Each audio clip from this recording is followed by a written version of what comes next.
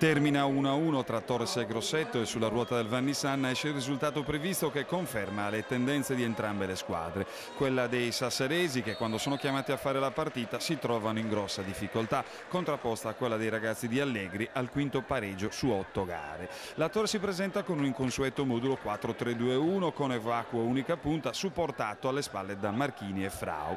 La cronaca vede i sasseresi vicino alla rete nel primo minuto di gioco. Frau taglia bene una punizione dentro l'area, Morello colpisce di testa a botta sicura, la palla esce fuori di qualche centimetro. La reazione dei maremani è affidata alla rovesciata di Pellicori e alla conclusione dalla distanza di Di Santo. La partita non si sblocca, sembra incanalarsi sul consueto cliché quando arriva un rigore per i rossoblù. Il fallo di mano di Di Santo su angolo basso di Frau lo vede solo il guardalinee di destra. Del penalty si incarica finalmente lo specialista Alessandro Frau che non sbaglia la mira e realizza la sua terza rete personale su quattro incontri da titolare.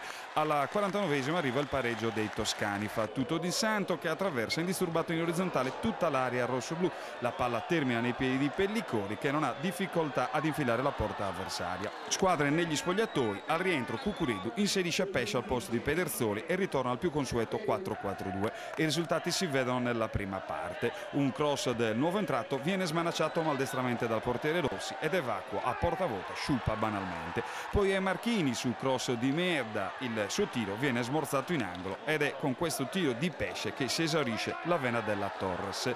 I marimani a quel punto provano a vincere ma è Torre Pinna che salva il risultato prima su calcio di punizione di Cipolla e poi su una conclusione da due passi di La Canna.